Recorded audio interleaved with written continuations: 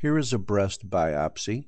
Notice there's an abundant amount of pink fibrous tissue or stroma.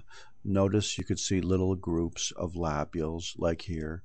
Notice you could see some cysts or dilated ducts like here. Uh, here's some lobules. And uh, here are some lobules here that look like they're uh, quite a bit more epithelialized than these normal looking lobules. So let's take a look at it. Let's blow it up a little bit. And notice that in this lobule and in this lobule, you don't see lumen within the acini anymore, do you? You could see that uh, in the lobule, every acinus is completely packed with cells, but the lobule still keeps its overall configuration. This is absolutely classical for lobular carcinoma in situ. It's a malignancy.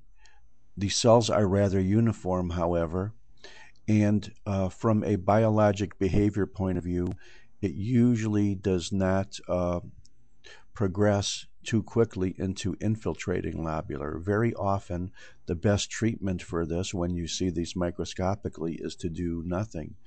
Uh, but they are still technically a malignancy. You can notice there's no infiltration of this anywhere. However, there is another uh, duct, I'm sorry, another lobule just above it, in which you could see much of the same pattern, in which the lobule maintains its overall normal configuration, but when you blow it up, you could see that the acini are just packed with these cells, and this is about as uh, high as we can go. This is lobular carcinoma in situ. Sometimes you see little vacuoles within these cells, like you see in many breast cancer cells.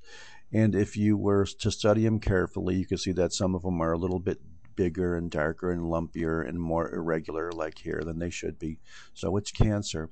But lobular carcinoma in situ characteristically uh, persists for many years and does not infiltrate. Thank you very much.